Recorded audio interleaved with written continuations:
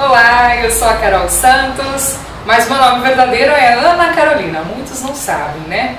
Bom, nome artístico Carol Santos. Primeiramente eu quero agradecer ao meu amigo, a essa pessoa que eu sou suspeita a falar, mas ó, amo muito. e sou suspeita a falar também do blog, né? O blog Apaixonados por Rádio, que ó, já tá, já tá no sangue, né? Bom, meu começo foi muito engraçado. Porque eu não sei se vocês lembram, mas tinha aquelas escovas. Antigamente tinha umas escovas diferentes de cabelo, né? Que parecia aquele microfone da Xuxa, aquele. Eu brincava de conversar com as plantas, que minha avó sempre teve muita planta em casa, né?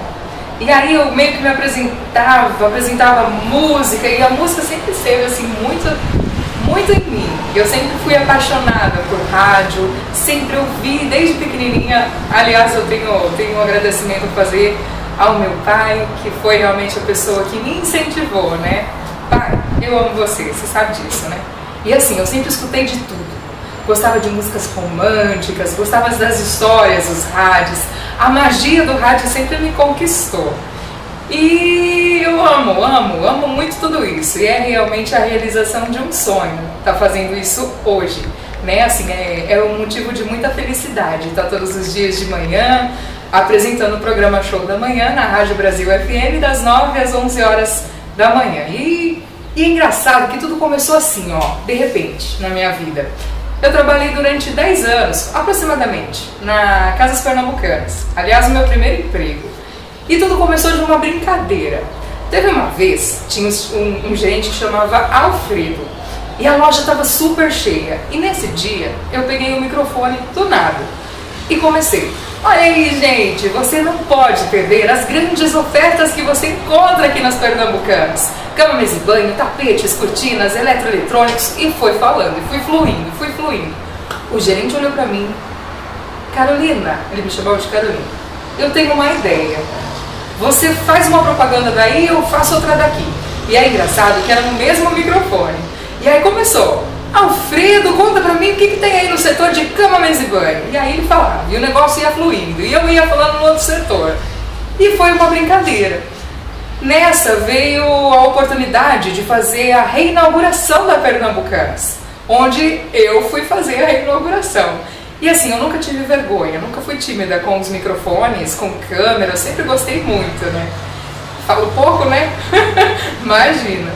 E aí ele falou assim, Carol, você tem coragem de pegar o microfone e ir no meio da loja? Eu falei, claro que eu tenho. E aí eu fui. Aí eu me encontrei.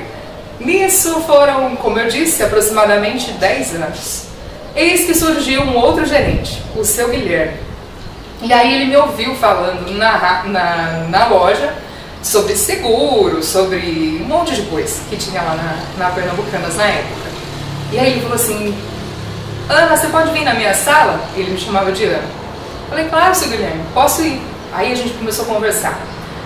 Eu tenho certeza que se alguém de uma rádio vier aqui te ouvir, você vai sair da loja. Promete pra mim que você não vai sair? Disse, Guilherme, eu sonho da minha vida, você acha que eu não vou sair? Só se eu estiver louca, né? Bom, e foi indo, indo, indo, e aí em 2009 eu ganhei a minha filha, né? Foi o, o meu maior presente, a Júlia. E aí eu resolvi, juntamente com o meu esposo, da gente, da gente parar. Deu, na verdade, né? Parar de trabalhar e me dedicar a ela. Pois bem, eis que depois de uns anos, a Julinha já um pouquinho maior, eu fui fazer a inauguração de uma outra loja. Não me lembro qual Pernambucanas foi, mas foi uma delas. Não lembro se foi Matão, eu não lembro. São Carlos, eu já fiz vários. E aí eu fui para essa outra loja, né? E aí comecei a fazer porta de loja. Pernambucanas, é, Montreal, que mais? Vale a pena. Foram várias as portas que se abriram. E aí surgiu a oportunidade de fazer o quê? De fazer o curso de radialista no Senac. E conhecer o Vagnão para mim, nossa, foi uma experiência fantástica, porque eu já ouvia ele, né? Na época e achava aquela voz um negócio. E hoje eu tenho a honra de trabalhar com ele para mim, então assim, é uma satisfação todos os dias, né? Eis que teve um dia, essa história é legal, eu estava trabalhando na Lojas Vale a Pena. E aí eis que surgiu a oportunidade de conversar com uma profissional da rádio. E, meu, foi muito louco aquele dia, eu nunca vou esquecer. Aliás, eu tenho até que agradecer, né? Tava a Maria Eugênia e a Vânia. É Vânia ou é Wanda? Eu nunca lembro, perdão. E aí ela falou assim pra mim, Carol, é, você já trabalha em rádio? Você já trabalhou em rádio e tal? E aí eu falei assim, não, mas eu tô fazendo curso. Ah, que legal. Vai lá na rádio amanhã, na Rádio Morada, e leva o seu piloto pra mim. Vamos conversar, vamos bater um papo e tal. Eu fui meio que não, né? Meu Deus, eu vou pra Rádio Morada, como assim? E aí eu estive por um tempo, né, fazendo a, o programa Na Torcida, que foi uma ideia bem bacana, bem genial. E assim, eu só tenho, eu só tenho orgulho de falar disso, né? Até conversei, nossa, eu falei, meu Deus, falei pro marido, não tô acreditando, não é verdade, não aconteceu comigo. E assim, eu tenho muito orgulho de ter feito parte, né, desse grande time, dessa grande rádio e que eu sou apaixonada, né? Ali conquistei vários amigos, um deles, claro, meu irmão, meu companheiro, meu confidente, o Adriano Ferreira, que eu amo muito, vou levar para o resto da minha vida, né? E outras, outras pessoas que eu nem vou falar nome, senão vou esquecer, né? Que são várias. Mas só agradecer, só agradecer mesmo. Bom, se eu me espelhei em alguém, eu sempre gostei muito da Tatá, a Tatá da Nativa, na época da Band, né? Eu sempre gostei muito do jeito que ela lia as cartas de amor e tal. E assim, eu sempre gostei muito de ler, né? Então eu acho assim que é fundamental, né? O locutor, o radialista tem que tem, tá sempre antenado em tudo que está acontecendo, seja no meio esportivo, seja no meio de novelas, né? No mundo dos famosos, enfim. E assim, eu sempre gostei muito de ler. Eu gostava muito do jeito que a Tatá lia, né? Outra pessoa também que é muito assim, eu tenho muita referência, é a Tina Roma. Meu, aquela mulher é fantástica. Um dia eu vou ter a oportunidade de conhecê-la, mas assim, é. Ela é demais. E outras pessoas também, né? Eu sempre, eu sempre ouvi muito assim, estilos de rádios diferentes, não só em Araraquara, mas também né, de toda a região. Sempre gostei de rádio AM Rádio AM para mim é fantástico e sempre gostei muito. E eu como locutora gosto de ouvir, né? De ouvir alguns outros locutores para pegar uma outra coisa e é sempre muito bacana, né? Essa interagir, né? Como que eles interagem com, com os ouvintes é bem é bem bacana. Eu tenho aprendido muito. Bom, minha rotina de trabalho é assim. Ó. Como eu disse, eu faço uh, o show da manhã todos os dias, das 9 às 11 horas da manhã mas eu sempre chego um pouquinho antes. Como eu disse, a magia do rádio, eu sou aquele tipo de pessoa que é assim, ó. Eu acordo, a primeira coisa que eu faço não é ligar a televisão e, né? Eu vou preparar meu café, eu ligo o rádio. Então, assim, eu quero saber, eu quero ouvir. Para vocês terem uma ideia, eu gosto de ouvir a voz do Brasil, sabe? Chega às 7 horas da noite, eu não desligo o rádio. eu não sei o que acontece. Eu preciso saber pelo menos a primeira meia hora, né, da Voz do Brasil, de, o que está acontecendo no mundo. Então, assim, é uma coisa meio que automática. Eu sempre gostei, né? E como eu disse, eu gosto muito de rádio, né? Sou daquele tipo de pessoa assim que acorda de manhã, primeira coisa, antes de fazer o café, ligo o rádio. Quando não de madrugada, que eu também gosto de ouvir, né? As rádios fora daqui da cidade, gosto de escutar também, inclusive o AM, né? Mas eu acho o AM uma coisa muito forte, uma... é a rádio de verdade, né? E como eu disse, eu sou apaixonada. Sou apaixonada por todos os estilos de rádio. Eu acho que, eu lembro até hoje, no curso, o Wagner falou assim para mim, Carol, eu vou te falar uma coisa. Você precisa ser lapidada. Você já está pronta. Você só precisa se lapidar. Porque você gosta de rádio. Eu falei, Wagner, rádio para mim é minha vida. Amo muito mesmo, amo muito tudo isso. Sou apaixonada assim. Então é essa minha rotina todos os dias, das 9 às 11 horas da manhã. Bom, o maior desafio até hoje, e está sendo, né, é trabalhar em rádio comunitária, mas assim, ó, é apaixonante. É apaixonante e é gostoso demais. Claro que é um desafio, né? Porque é uma rádio pequena, né? Mas assim, eu acho que eu tô conquistando aos pouquinhos, né? E assim, cada dia, é engraçado que cada dia tem um, um ouvinte diferente me ligando, elogiando meu trabalho, falando que adora minha risada. Imagina, eu nem gosto de rir. é uma coisa que não vem de mim e assim, amo, amo dar risada. Costumo dizer que assim, é muito mais gostoso ser feliz, a gente fica muito mais bonito sorrindo, né? Porque ficar com cara feia ninguém merece, né?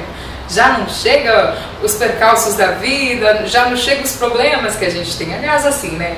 Todo locutor é meio que um psicólogo, né? Então, assim, a gente ouve muitos ouvintes o dia todo, todo dia. E graças a Deus, assim, eu sempre gostei muito de conversar e eu aprendi muito, assim, com a vovó, que ela sempre falou assim, Carol, a gente sempre tem que ouvir mais e falar menos, né? Então, assim, a gente tem dois ouvidos e uma boca, então quanto mais eu ouço, mais eu aprendo. E é gostoso demais ouvir os meus ouvintes, conversar, bater aquele papo gostoso, dar risada, né? Então, assim, a gente também tem os nossos problemas, né? A gente também tem as nossas dificuldades, a gente também tem momentos de, ai meu Deus, eu quero chorar, eu quero sair correndo, sabe? Mas tem vocês aí do outro lado e é isso que, nos motiva, é isso que nos deixa feliz de saber assim, eu sempre conversei com rádio, imagina, sempre, se tinha um locutor lá falando assim, bom dia, tudo bem? Eu respondia, bom dia, tudo bem? Então assim, eu gosto de fazer isso com os meus ouvintes. Ah, onde você me colocou hoje? Você me colocou em cima da máquina de lavar? Você me colocou em cima da geladeira? Adoro! E assim, tem vários ouvintes que me ligam todos os dias. Carol, dá risada só pra eu ouvir? então assim, a magia, a magia me contagiou e quero levar isso ó, pro resto da vida, se Deus quiser. Bom, o que eu mais gosto em rádio? Eu gosto de tudo! eu gosto de ouvir comercial, eu gosto de ouvir a propaganda para ver né, o que, será que eles estão falando, o que, será que está chamando a atenção. Gosto de ouvir outros locutores para né, pegar aquele, aquela dica, aquele negocinho a mais que o outro, outro locutor faz. E é legal assim, que eu gosto de ouvir homens e mulheres, né? Não só mulheres, por eu ser mulher, né? Mas assim, eu gosto de ouvir, sabe? Eu gosto de ouvir os, os mais experientes, até porque eu tô começando, né? E assim, eu acho que eu tenho muito ainda o que aprender e preciso ouvir bastante. Mas assim, a primeira coisa a gente já tem, né? Eu sou completamente apaixonada e sei lá, é tudo, tudo me encanta, a magia, Aí eu estava conversando outro dia com um amigo e falei assim, nossa, antigamente era tão engraçado, porque a gente não sabia como que era o locutor. Hoje, com a interatividade, com esse negócio de internet, esse negócio de redes sociais, você quer saber como é que é o, o, o locutor, você vai lá e busca, dá um busca lá, né? Busca, dá uma pesquisada, dá uma gugada, como dizem, né? Então, assim, é, é legal, porque você acaba falando, meu, eu imaginei essa pessoa totalmente diferente. Então, assim, é legal interagir, é legal essa troca de informações, é legal porque as pessoas te dão dica e falam, Carol, você precisa melhorar tua coisa, você precisa parar de dar risada demais, você precisa, né, tocar outros estilos de música. Então, eu gosto disso. Tudo isso me fascina demais. Me fascina, meu Deus, a cada dia. E eu tenho aprendido muito, viu? Confesso. E tenho percebido, assim, erros que eu fiz no passado que hoje não faço mais. E é engraçado, né? A magia contagia e, meu, história engraçada. Ai, Senhor, essa é engraçada, mas eu acho que não ouviram. eu nem dou risada, vocês já perceberam, né? Ai, meu Deus.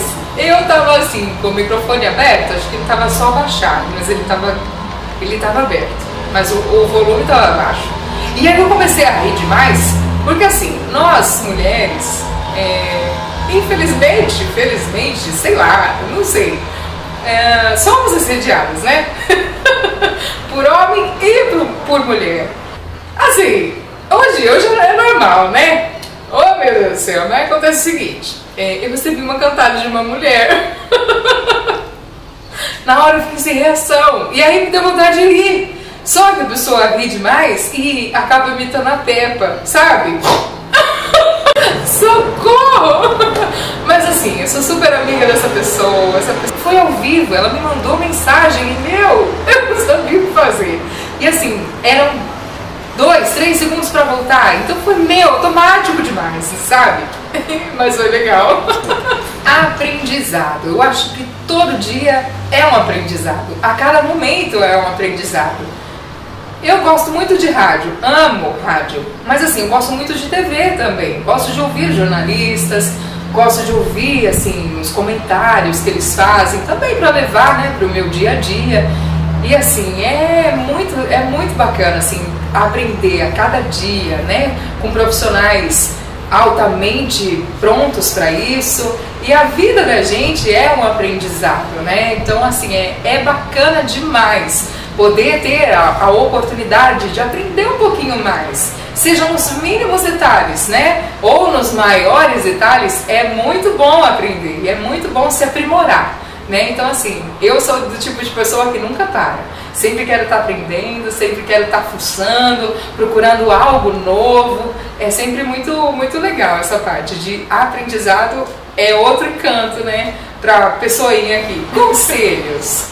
Se você é um apaixonado por rádio, se você ama e se o bichinho te mordeu, né? Do, da magia do rádio, meu, procura esse curso, esse curso é maravilhoso e eu amo demais, amo demais. E assim, é, é a realização de um sonho, eu não me canso de falar isso. E assim, é o que eu quero levar para o meu resto da vida. Se você é apaixonado por rádio, se você ama essa magia, vai atrás do seu sonho. Não tem preço no mundo que pague, né? O carinho que você recebe de volta dos fãs, as críticas, claro que eu recebo crítica. E meu, isso me, isso me fortalece demais. Porque eu, eu, eu acho assim, ó, você aprende mais errando do que com acerto, não é? O erro te motiva, te, te dá força para você melhorar, para você continuar e para você buscar ser melhor, né? Para você buscar assim, meu, onde eu tô errando? que, que eu fiz de errado? Ai meu Deus, né? Então é, é, é bacana isso. Então assim, ó, nunca desista do seu sonho, sempre busque aquela, aquele real sonho que você tem, que nem o meu, desde pequenininha falando com as plantas. E eu sempre, eu sempre falei com a mamãe, mamãe, um dia eu vou ser radialista, eu vou trabalhar aí atrás desse negocinho aí.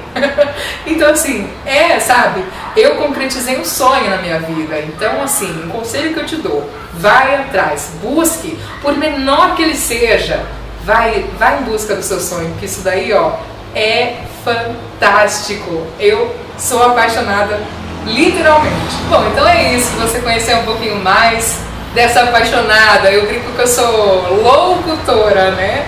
Então, assim, todos os dias eu te convido a ouvir um pouquinho, né, da nossa Rádio Brasil FM 104,9, que é a rádio sucesso da comunidade, que graças a Deus está crescendo, está conquistando. Em breve, nova, nova Rádio Brasil aí na cidade. Mas esse daí é uma dica que depois eu vou conversar com meu amigo Mildinho, sabe?